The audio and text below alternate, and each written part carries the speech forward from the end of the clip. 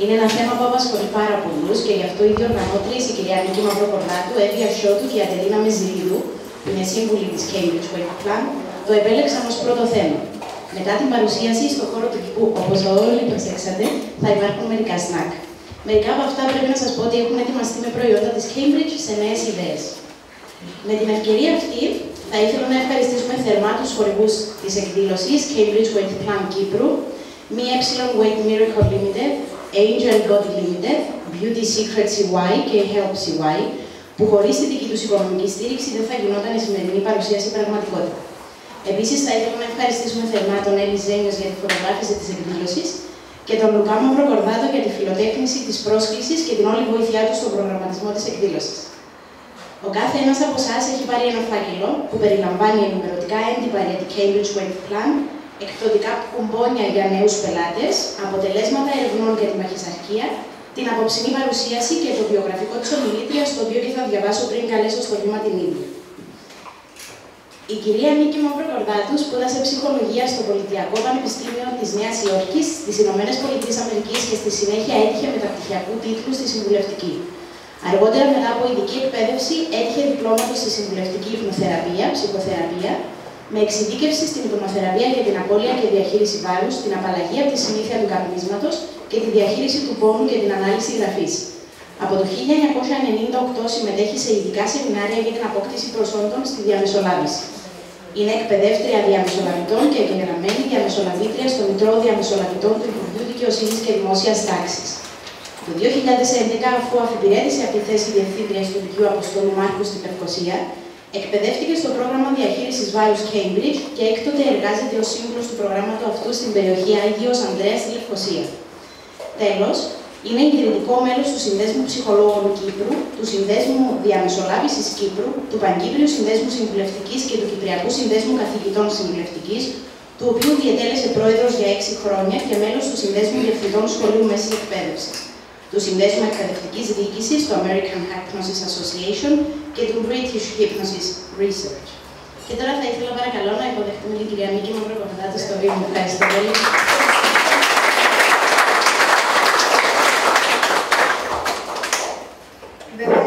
πολύ μεταξύ μας, οπότε δεν χρειαζόντουσαν όλα αυτά, αλλά οπωσδήποτε θα τα ξαναπεί μισά τα προσόντα μου. Σας ευχαριστώ που ήσασταν απόψε μαζί μας. Ε, είναι μεγάλη μου η χαρά που βλέπω πολλούς φίλους και μέλη της οικογένειας μου να στηρίζουν αυτή την προσπάθεια, ε, καθώς και φίλους των άλλων διοργανωτριών ε, που είναι εδώ απόψε μαζί μας. Θα προσπαθήσω να σας ενημερώσω όσο καλύτερα μπορώ για το θέμα του στρες και της παχυσαρκίας που απασχολεί ίσως τους πιο πολλούς από εμάς, αν και πολλοί που είναι εδώ απόψε δεν χρειάζονται να απασχολούνται για το θέμα, όπως βλέπω.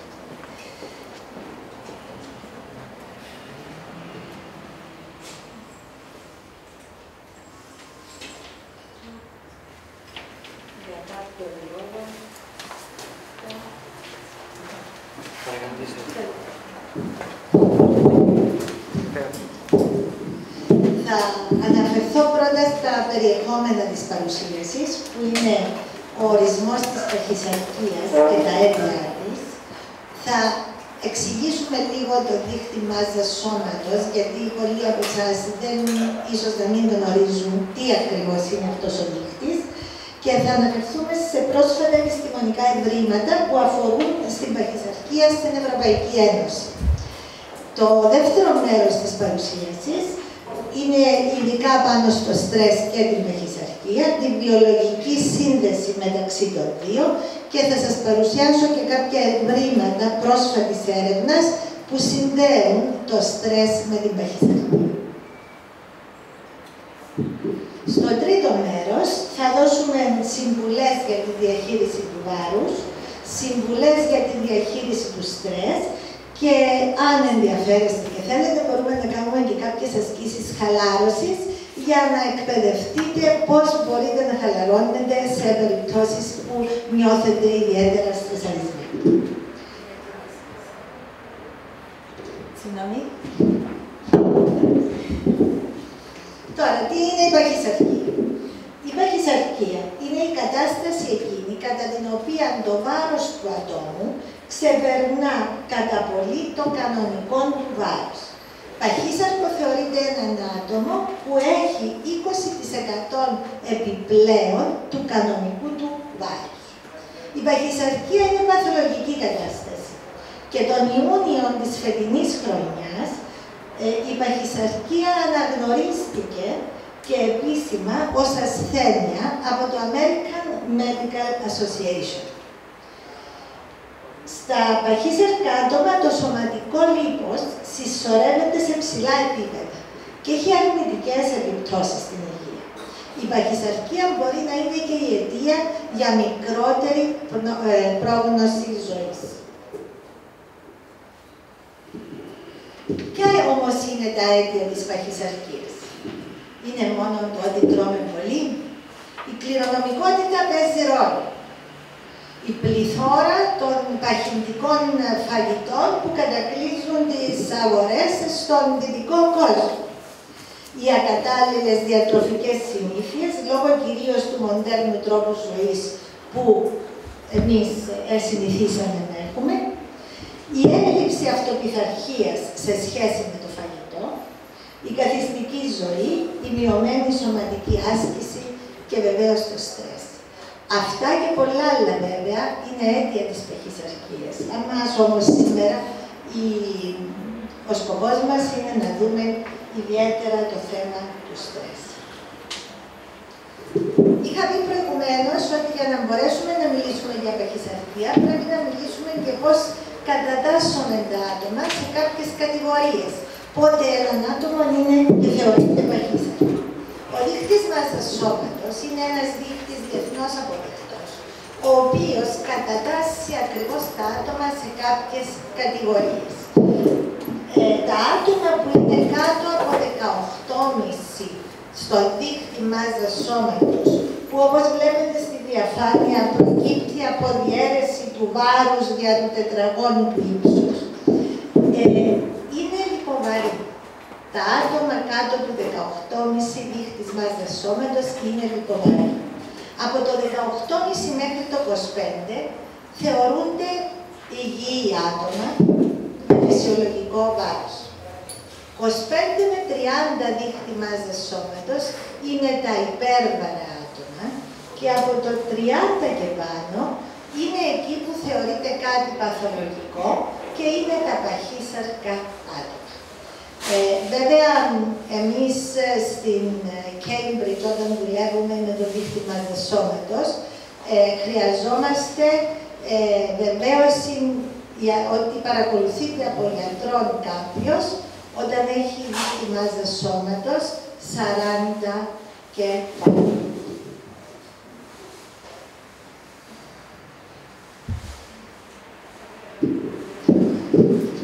Υπάρχουν διάφορα επιστημονικά άρθρα και ευρήματα, θα αναφερθούμε σε μερικά, ε, και κυρίως σε στατιστικές που έγιναν στην Ευρωπαϊκή Ένωση το Νιόβρη του 2001. Είναι τα τελευταία στοιχεία της Ευρωπαϊκής Ένωσης. Η παχυσαρκία κατατάσσεται στα πολύ σοβαρά προβλήματα δημόσιας υγείας, γιατί αυξάνει σημαντικά την πιθανότητα εμφάνισης χρόνων νοσημάτων.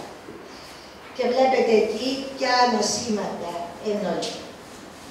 Στην Ευρωπαϊκή Ένωση τα προβλήματα που αφορούν τη διαχείριση βάρους αυξάνονται σε ανησυχητικό βαθμό. Ε, είναι κάτι το οποίο βλέπουμε να αυξάνεται χρόνο με τον χρόνο. Και περισσότερος από τον μισό πληθυσμό της Ευρώπης ε, εμπίπτει στην κατηγορία των υπέρβαρων ή των παχύσεων. Η συχνότητα εμφάνισης ψυχολογικών και άλλων κοινωνικών προβλημάτων μέσα σε αυτές τις κατηγορίες είναι πάρα πολύ αυξημένη. Γι' αυτό ε, κάτι πρέπει να γίνει για τον πληθυσμό.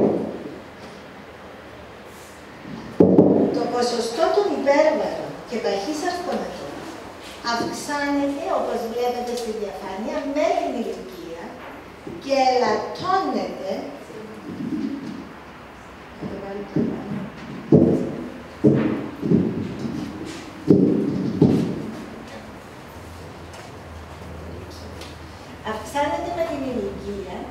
αυξάνεται με την ηλικία και ελαττώνεται με το μορφωτικό επίπεδο. Όσο πιο μορφωμένος είναι ο άνθρωπος, τόσο προσπαθεί να κάνει κάτι για το θέμα του βάρους του. Βεβαίως, όσο πιο μεγάλος σε ηλικία είναι, τόσο αυξάνεται το βάρος. Εδώ βλέπετε κάποια στοιχεία από την Ευρωπαϊκή Ένωση και βλέπετε και η Κύπρος που βρίσκεται είναι περίπου στο μέσο ε, των χωρών της Ευρώπης. Ε, το, το μπλε είναι η παχύσαρκη και το πράσινο είναι η υπέρβαρη.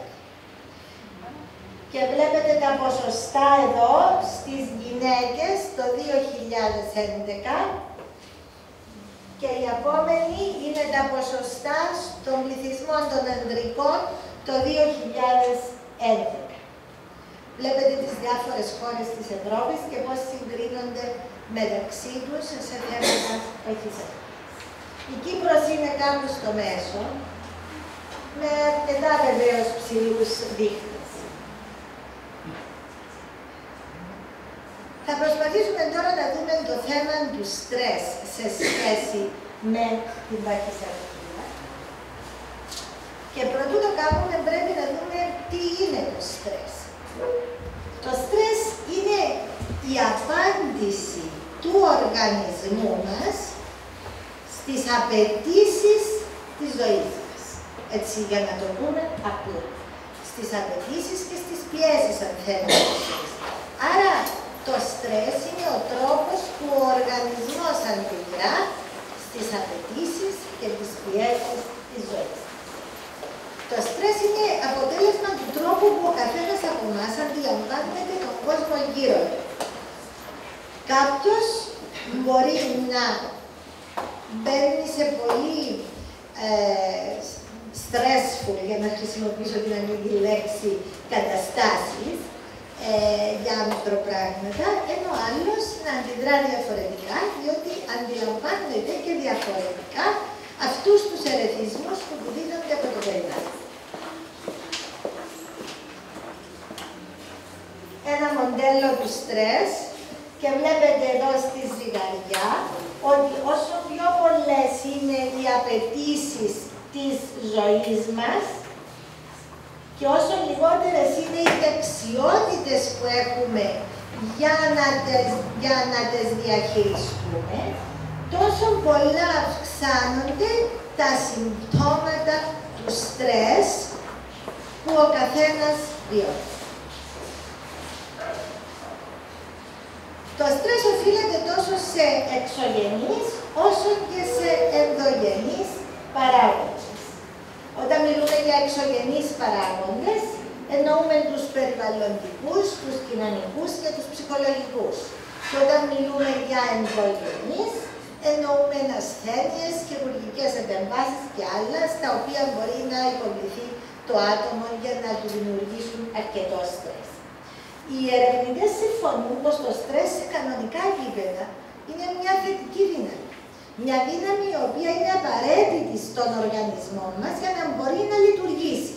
Παραδείγματος χάρη, αν θα διασταυρώσουμε ένα δρόμο, πρέπει να έχουμε ένα αυξημένο επίπεδο στρες για κάποιο διάστημα για να μπορέσουμε να κάνουμε αυτή την, την προσπάθεια διαφορετικά.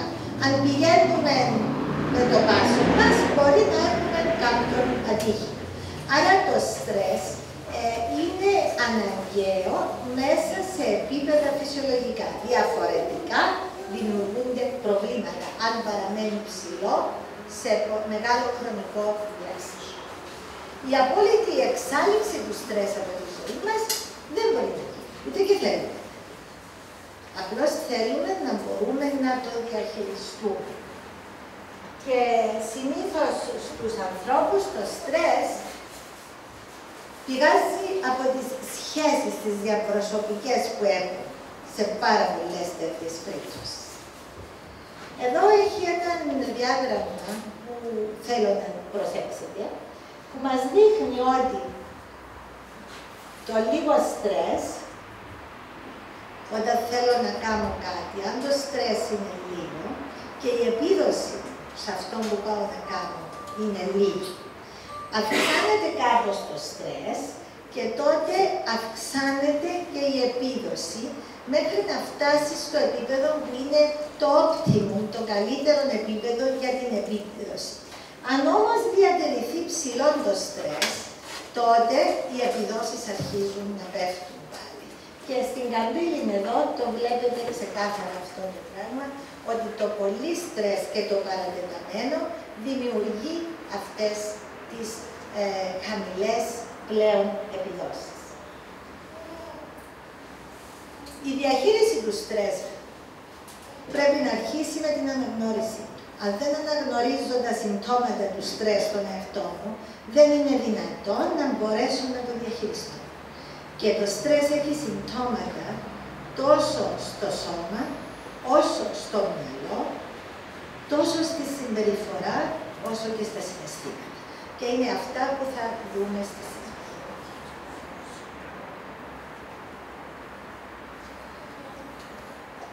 ποιες είναι οι επιδράσεις του στρες στο σώμα; Η ταχυπαλμία, η υπέρταση, δύσπνοια, συχνουρία, εφίδραση, αύξηση σακάρου στο αίμα, ξηρασία δέρματος και στόματος, εξάψεις, πόνη στην πλάτη, εξανθήματα, συστολή μειών, πάχυσαρκή. Αυτά όλα βεβαίως δεν σημαίνει ότι όταν έχουμε μόνο είναι από το στρες, αλλά είναι και συμπτώματα του στρες, του παρατεταμένου στρες στη ζωή μας. Το στρες όπως έχουμε πει επιδρά και στη συμπεριφορά μας και θα δούμε λίγο ποια είναι τα συμπτώματα στη συμπεριφορά μας. Η δυσκολία στον ύπνο, αϊπνή, διακεκομένος ύπνος. Ξύπνημα πολύ πριν την κανονική ώρα. Συναισθηματικές εκρήξεις. Επιθετικότητα. Υπερβολική κατανάλωση τροφής. Βουλημία ή ανορεξία. Κατάχρηση ποτού ή άλλων ουσιών. Υπερβολικό κάπνισμα αυξημένες πιθανότητες για εμπλοκή σε ατυχήματα. Αποφυγή συγκεκριμένων καταστάσεων.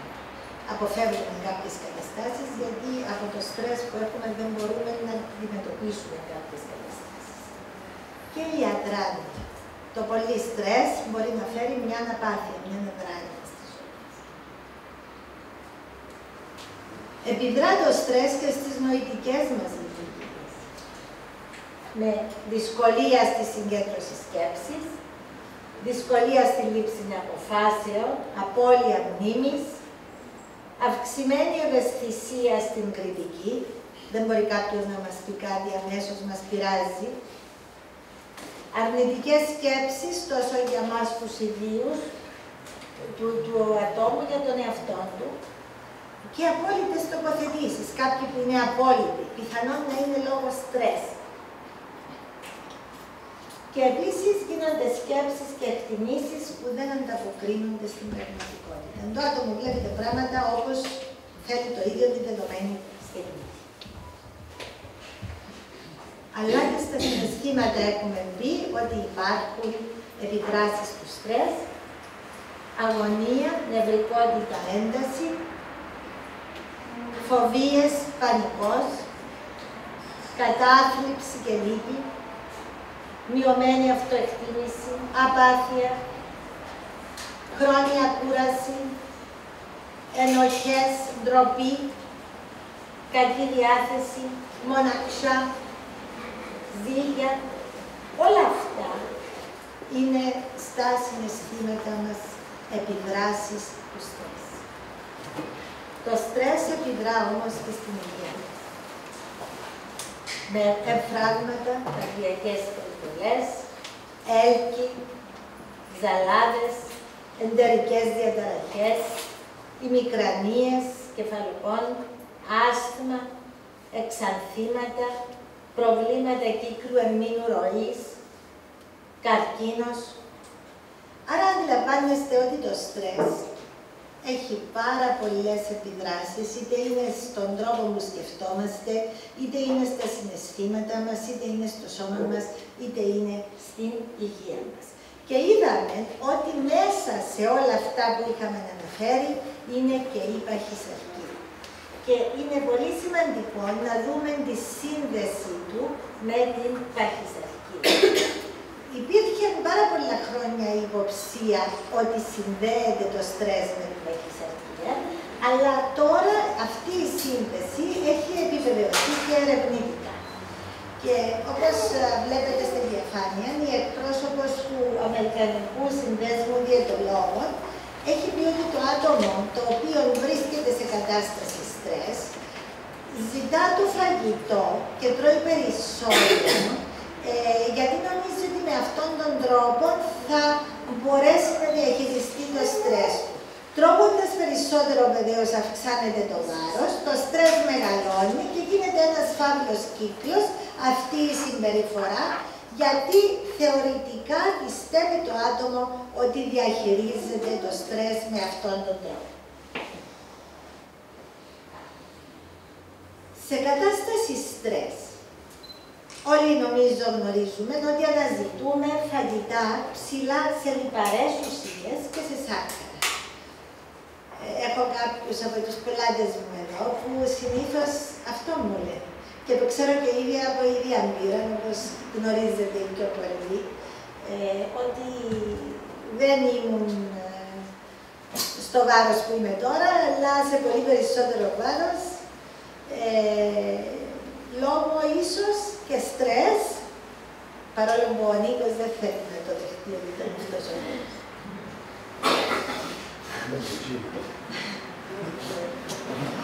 Πρόσφατες έρευνες όμως έχουν δείξει, αγαπητέ Νίκο, πως αυτό συμβαίνει λόγω συγκεκριμένων ορμονών που παίζουν σημαντικό ρόλο στη διαδικασία αυτή.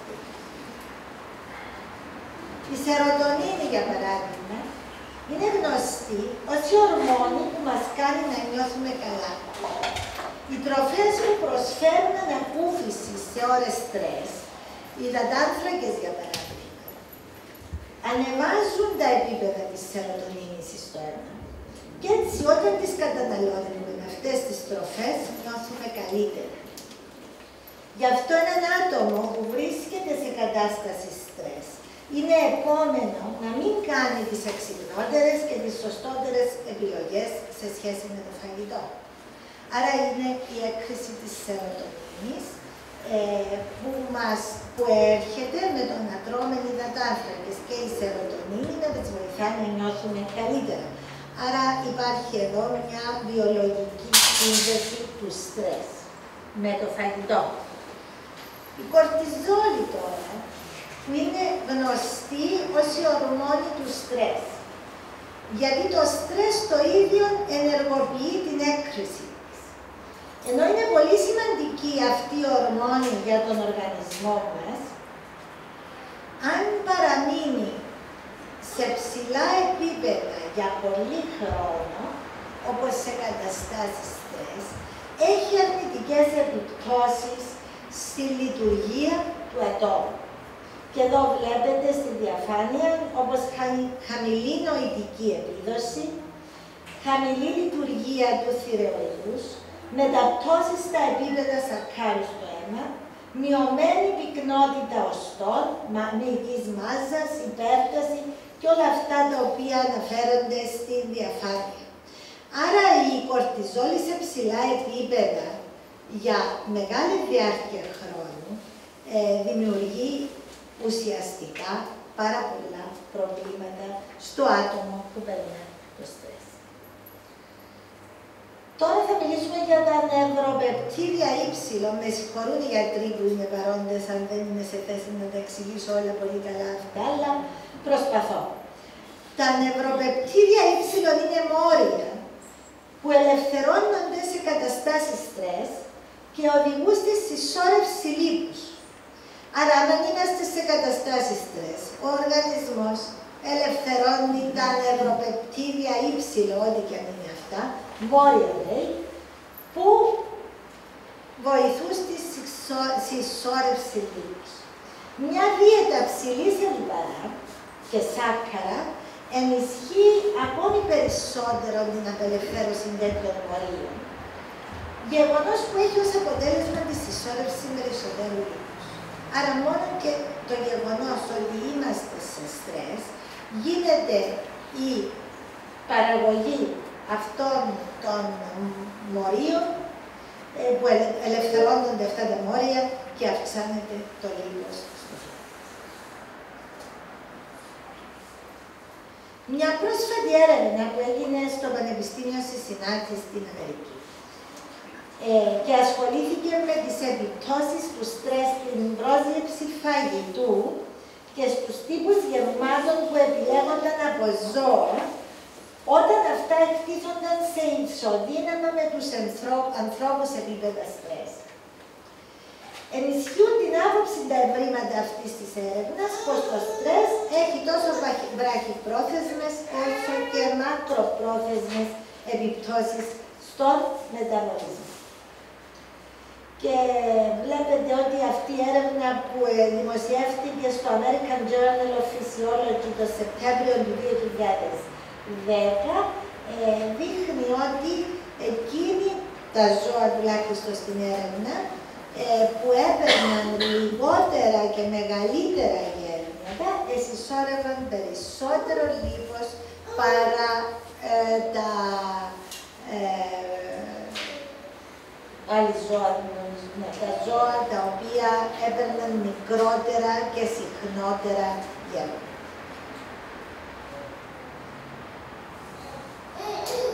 Αυτά για τη βιολογική σύνδεση του στρες με την παχυσαρκία. Τώρα πώς διαχειριζόμαστε το βάρος; μας. Αν κάποιος έχει επιπλέον βάρος και είναι στην κατηγορία του υπέρβαρου ή του παχύσαρκου, καλό είναι να μπει σε κάποιο πρόγραμμα ειδικών για να χάσει το βάρος. Και επειδή εμείς πρέπει να ευλογήσουμε και τα γένια μας, να πούμε ότι το πρόγραμμα διαχείρισης βάρους ε, Cambridge είναι ένα πολύ ε, αποτελεσματικό ε, πρόγραμμα ε, που μας προσφέρει υγιεινή διατροφή, χαμηλή θερμίδες, ενισχυμένη με όλα τα συστατικά που χρειάζεται ο οργανισμός. Επιτυχάνεται γρήγορη απώλεια βάρους με το πρόγραμμα αυτό και δεν υπάρχει το αίσθημα της πείνας κατά τη διάρκεια της, ε, που κάποιος είναι, βρίσκεται σε αυτό το πρόγραμμα. Επίσης, ο σύμβουλος της Cambridge προσφέρει και δωρεάν εβδομαδιαίο έλεγχο ε, στον πελάτη που είναι στο πρόγραμμα και το κόστος της δίαιτας, ιδιαίτερα μετά τις εκπτώσεις και τα, ε, που υπάρχουν τον τελευταίο χρόνο, είναι πάρα πολύ λογικό. Και θα βρείτε ιδιαίτερες πληροφορίες για το θέμα μέσα στα files τα οποία έχετε πάρει. Όπως και μερικά ε, άρθρα από πρόσφατες έρευνες ε, που χρησιμοποιήθηκαν τα προϊόντα της Cambridge. Όμως τα άτομα που δεν είναι τώρα σε κάποιον ειδικό πρόγραμμα και θέλουν κάποιες συμβουλές για τη διαχείριση του βάρους τους. Τι πρέπει να κάνουν; Πρέπει καταρχήν να τρώτε τρία γεύματα και τρία πρωτεϊνούχα σνακ την ημέρα. Όχι μόνο το βράδυ με ένα φαΐ ε, και τέλειωσε και μεγάλο. Τρία γεύματα και τρία πρωτεϊνούχα σνακ την ημέρα. Πρέπει να τρώμε κάθε δυόμιση με τρεις ώρες. Ο λόγος για να, να αποφεύγουμε την πτώση των επιπέδων του σακάρου στο αίμα. Γιατί αυτό εμποδίζει και την ομαλή νοητική λειτουργία, αλλά μας ε, κάνει να αναζητούμε τροφές ψηλές σε λιπαρά και σάκρα.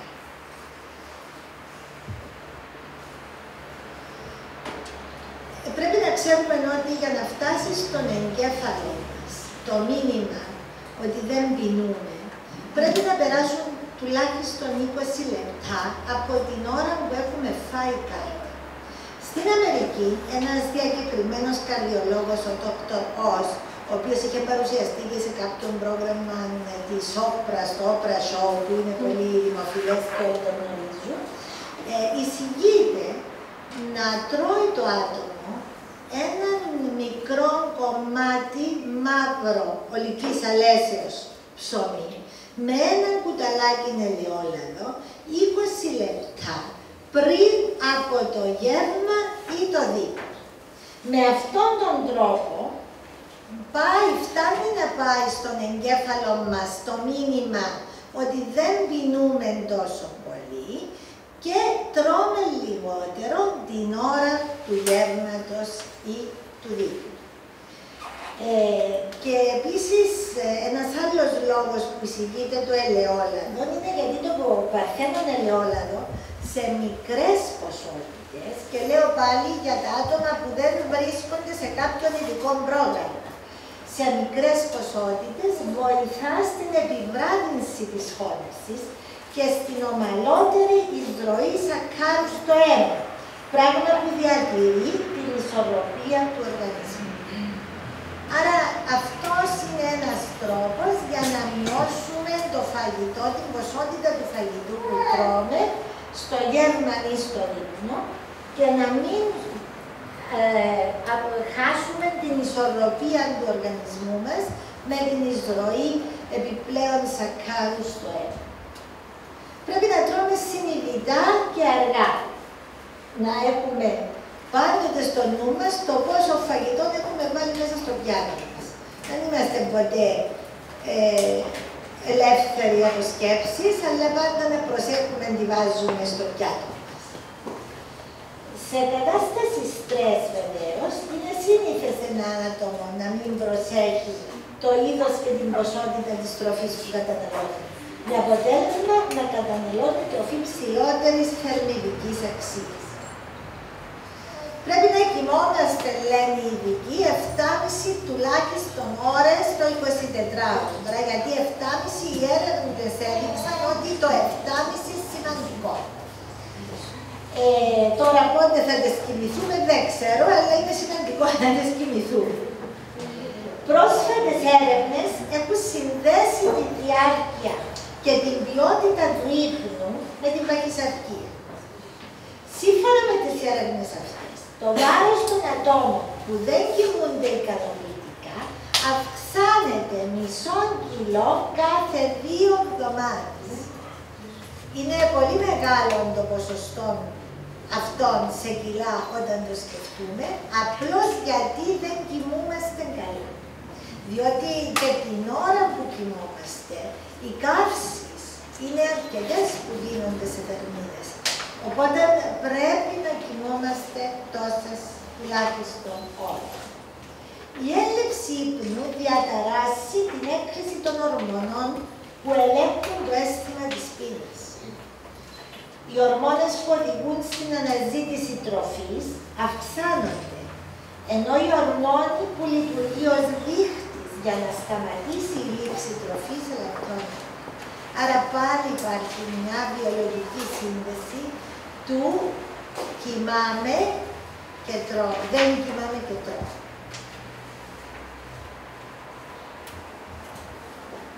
Βεβαίως η άσκηση όλοι ξέρουμε ότι πρέπει να μπει στη ζωή μας. Ε, το περπάτημα, το κολύμπινγκ και άλλη αεροβική άσκηση. Ε, εισηγούνται πάλι οι ειδικοί τη χρήση του μετρητή βημάτων για να μπορούμε να ελέγχουμε το πόσο περπατούμε και εισηγούνται 10.000 βήματα την ημέρα ότι είναι απαραίτητα για να μπορέσουμε να χάσουμε κάποιο βάρος ε, και να διατηρήσουμε ε, ή να διατηρήσουμε το βάρος το οποίο έχουμε για ε, να πούμε ότι μισή ώρα περπάτημα ισοδυναμεί με περίπου 3.000 βήματα. Ε, σίγουρα το επόμενο σημείο δεν το κάνουν όλοι, κάποιοι όμως που είναι μέσα στο χαρακτήρα τους μπορούν να το κάνουν, να σημειώνουμε σε ένα ημερολόγιο την τροφή που καταναλώνουμε για να ελέγχουμε το τι τρώμε κάθε μέρα και να αυτοπιθαρχούμε με αυτόν τον τρόπο. Πολύ σημαντική είναι η λήψη 2,5 λίτρων νερό, νερού την ημέρα. Ε, όλοι το ξέρουμε, πολλοί από μας δεν το κάνουν. Είναι πάρα πολύ σημαντική, διότι, όσο παράδοξο κι αν είναι, εάν δεν παίρνουμε το νερό αυτόν, την ποσότητα αυτή, ο οργανισμός μας κατακρατεί το νερό μέσα και δεν το αφήνει να ελευθερωθεί από πάνω μας. Άρα πρέπει να πίνουμε τα 2,5 λίτρα νερού την ημέρα. Να σημειώνουμε το βάρος μας τουλάχιστον μια φορά την εβδομάδα και τις μετρήσεις μας αν είναι δυνατό και βεβαίως να διαχειριστούμε το στρες μας. Που είναι πολύ σημαντικό όπως είδαμε για το θέμα του ε, είδαμε ότι για τη διαχείριση του στρες τώρα η διατροφή παίζει πολύ σημαντικό ρόλο. Δεν θα ξαναπούμε στο ίδιο θέμα. Πρέπει να αποφεύγουμε τα σάκχαρα και τα λίπη που βγάζουν τον οργανισμό μας από την ισορροπία που ε, πρέπει να έχει. Μιλήσαμε και για την άσκηση, το περπάτημα, το κολύμπι, το γιόκα για κάποιους που μπορούν να δηλώνονται είναι πολύ σημαντικά για να ε, διαχειριστούμε σωστά το στρες Ασκήσεις χαλάρωσης και στο τέλος μπορούμε να δούμε μερικές. Η υπνοθεραπεία είναι ένας άλλος τρόπος διαχείρισης του στρες. Η ανάπτυξη θετικής σκέψης, αυτοπεποίθησης, θετικής αυτοεικόνας, που όταν έχουμε αυτά δεν θα είμαστε και τόσο στρεσαρισμένοι. Η απαλλαγή μας από φόβους και φοβίες, οι διαταραχές ύπνου, η πονοκέφαλη και άλλα συμπτώματα που σχετίζονται με το στρες γίνονται διαχείριση του μέσω της υπνοθεραπείας, η διαχείριση του βάρους, η απαλλαγή από τη συνήθεια του καπνίσματος και βεβαίως μπορούμε μέσα από την υπνοθεραπεία να διαχειριστούμε πολύ αποτελεσματικά το στρες μας. Με όσα είπαμε μέχρι τώρα, έχουμε δει ότι υπάρχει μια βιολογική σύνδεση του στρες με την παχυσαρκία που από μόνο του το στρες εκρίνει, βοηθά στην έκρηση κάποιων ορμονών με αποτέλεσμα να βάζουμε βάρος. Ε, έχοντας αυτό υπόψη όμως, πρέπει να κάνουμε κάτι για το στρες μας για να ελαττώσουμε την πιθανότητα της αύξησης του βάρους ε, λόγω αυτού του στρες. Αν θέλετε τώρα, ή όσοι θέλετε τώρα, μπορούμε να κάνουμε κάποια ανάσκηση χαλάρωσης. Ε, οπότε, αν μπορείτε, πάρτε τα πόδια σας στο έδαφος και τα χέρια σας πάνω στο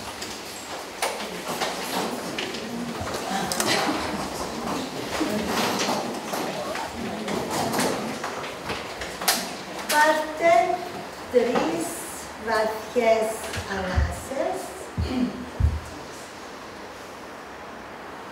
Όπως συνέτε, μπαίνει μέσα σας σαν ένα κύμα χαλάρωσης που βγαίνει με την κάθε εκπνοή σας. Ακόμα μια φορά. Άστε το και νιώστε το κύμα χαλάρωσης να βγαίνει με την εκπνοή σας. Και τώρα στην τρίτη εισπνοή, όταν νιώσετε αυτό το κύμα να περνά μέσα σας, με την εκπνοή σας, επιτρέψτε στα μάτια σας να κλείσουν και να εκπνεύσετε και καθώς αρχίζετε να είστε ήρεμοι, νιώθετε ένα κύμα χαλάρωσης να κυκλοφορεί μέσα στο σώμα σας. Θέλω να φέρετε την προσοχή σας στο πάνω μέρος του κεφαλιού σας.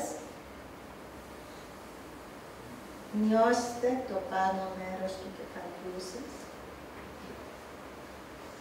Νιώστε τα μαλλιά στο κεφάλι και νιώστε πως αρχίζουν οι μύες του κεφαλιού με χαλαρώνει.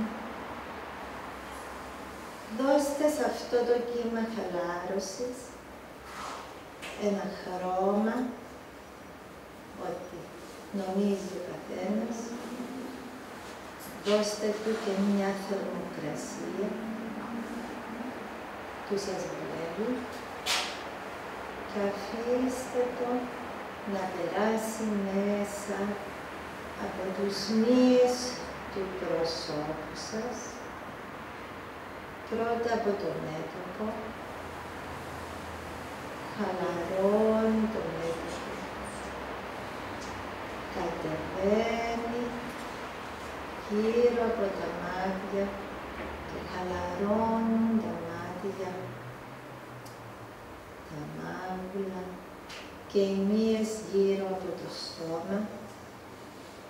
Προχωρεί αυτό το κύμα χαλάρωσης προς το λαιμό και είναι στο χρώμα και στη θερμοκρασία που του έχετε δώσει.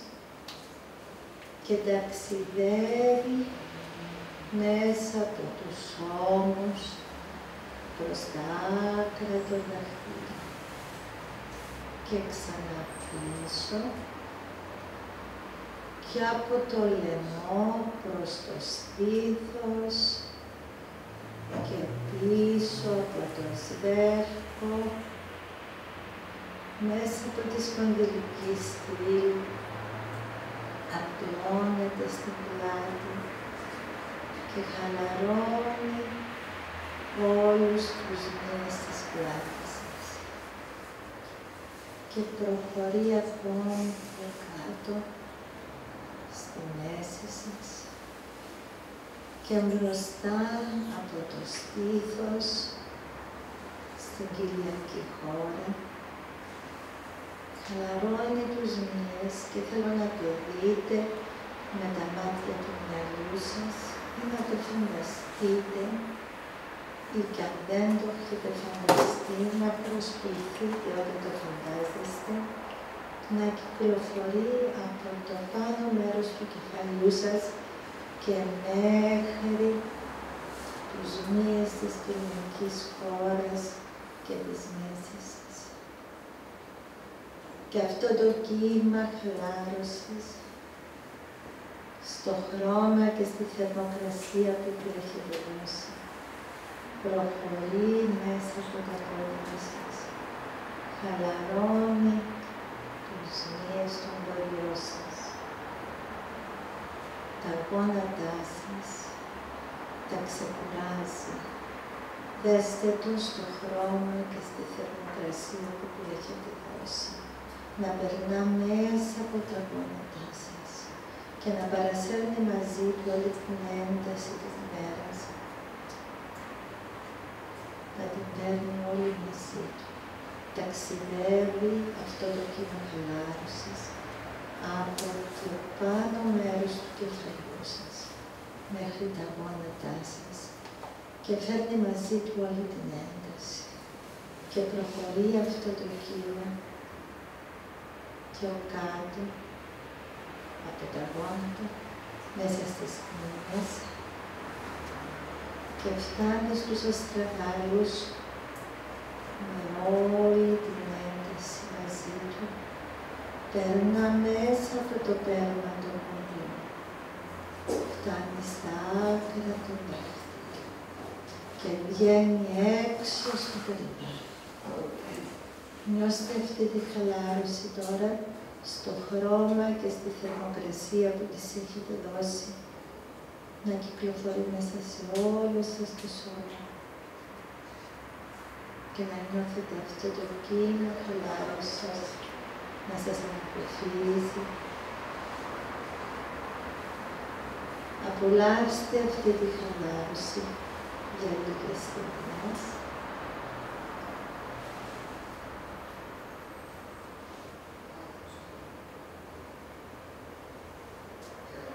Και όταν μετρήσω από το 1 μέχρι το 5, στο άκουσμα του αριθμού 5, θα είστε αναζωογονημένοι ξεκούραστη και θα ανοίξετε τα μάτια σας. Και ένα,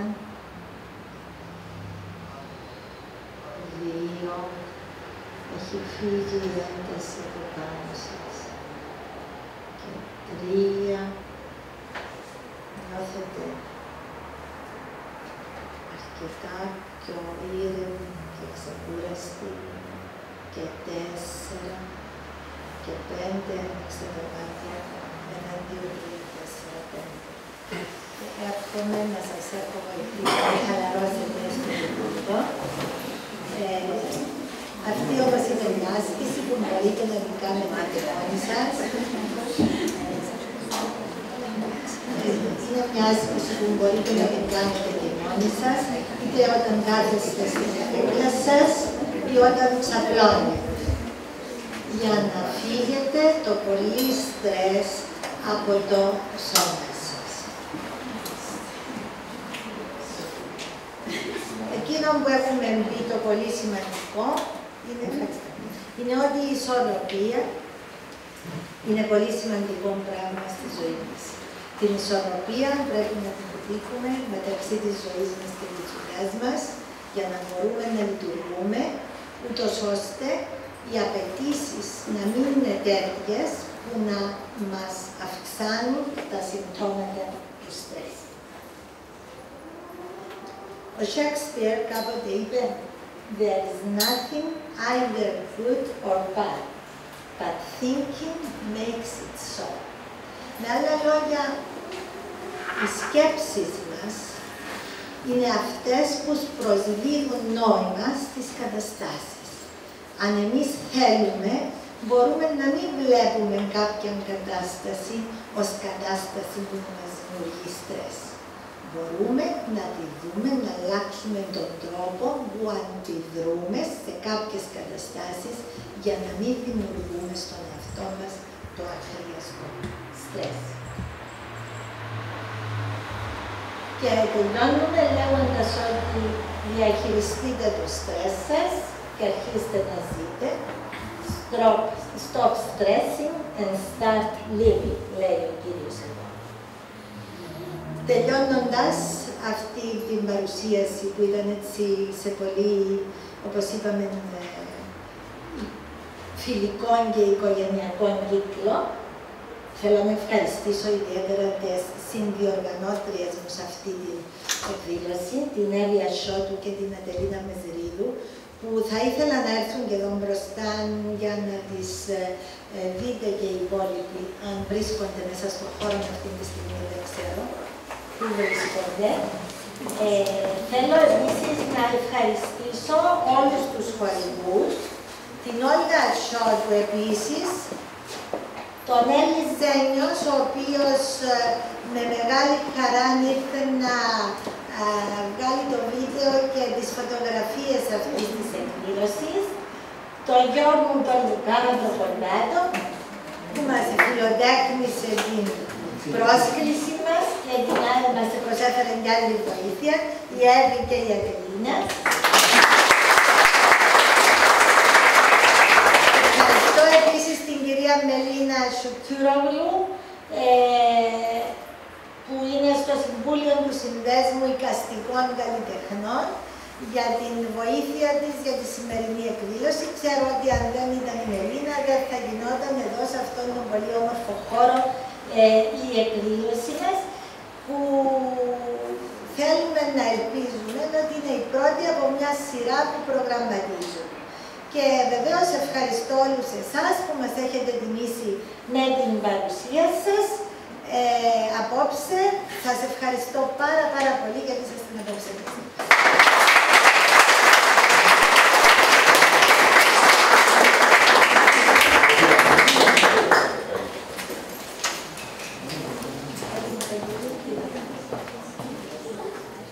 Έξω έχουμε μερικά snacks όπως έχουμε πει.